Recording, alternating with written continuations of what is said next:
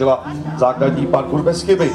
Ví, že bojuje s časem 40-32 vedoucí dvojice Violet a Denisa Vegrichtová.